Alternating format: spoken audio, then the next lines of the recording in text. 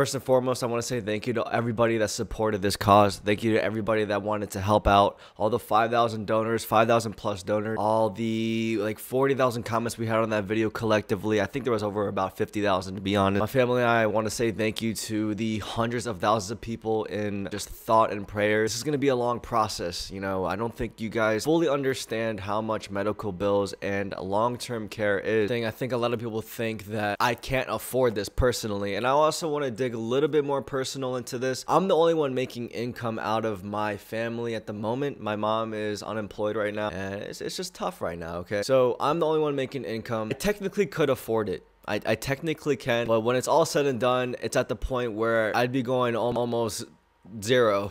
Like i'm being serious. I'm almost at the point where i'm going zero. I make good money on youtube but i cannot stress medical bills and especially when it's just put on me it, it's difficult. With me uh, i guess i saved a good amount but you know i just bought a house you know i can't it's not like a I sell the house just like that or yeah I guess technically I could sell the Corvette and, and pay it off in full and, and lose money on that and contribute that towards uh, the cost of the medical bills and stuff like that. And, and it's not just the medical bills we're talking about we're talking more into 24-7 care which that's what we're getting more into about how expensive this is going to be as well. So um, I think I also want to be smart about it. I don't think I just want to quickly sell this Corvette. I bought it for like 55 I think I got a pretty good deal. I think 54 I had a pretty good deal on it and if I if I paid off in full now and sell it, I'd probably make, I'd say about 46 back. So I'd lose money. But at the end of the day, I don't think that's smart right now. I think right now, I, and, and I think some people think that I'm not helping financially, guys. I, that it's, it's kind of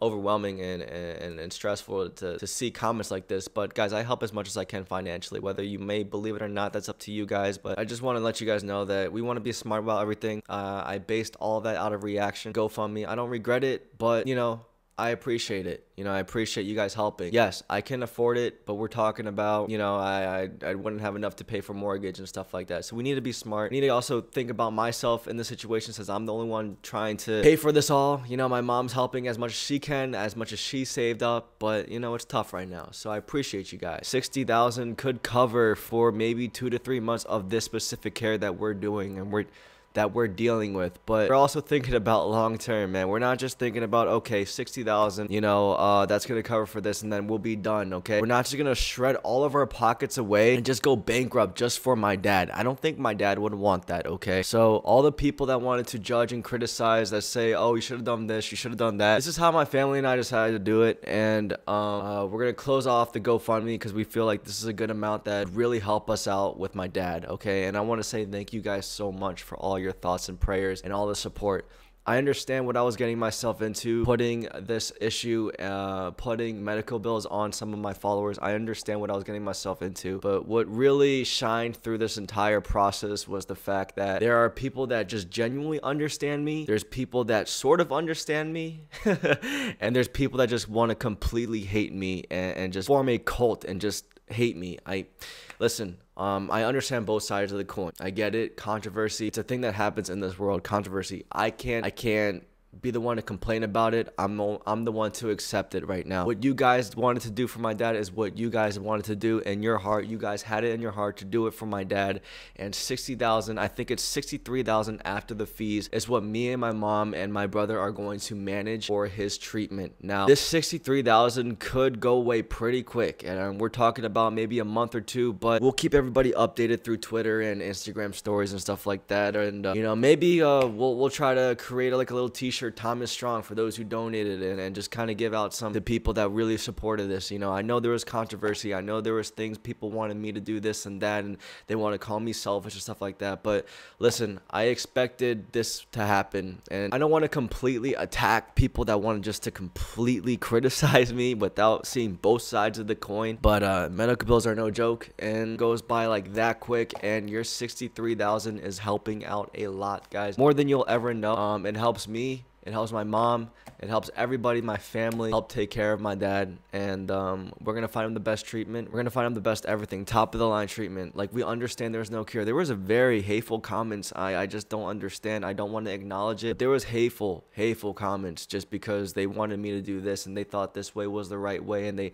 that I didn't do it that way. And then they just want to say really hateful things towards my dad, which was really bad. But I just want to say thank you guys so much for understanding whew, man, um, it just all this love is really overwhelming to see this amount of people really help. It was not just about donations. It was also about just having a community stand by something and support my dad. I think my dad felt that love and that, that energy being transferred from the internet to the to him.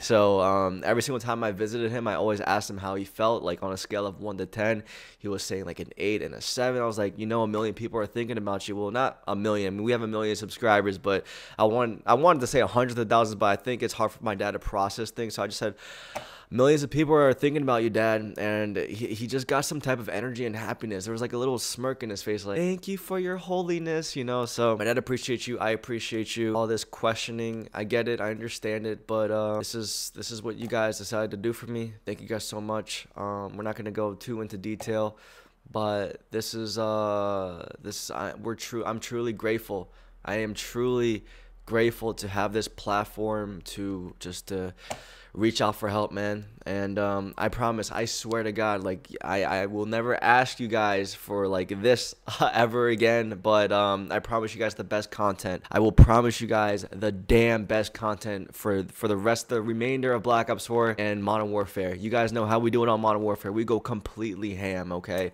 So um, I promise you the best content that I could put out. God bless you guys. God bless you all. Seriously, we understand. Thank you guys so much for everything you guys do for me. And um,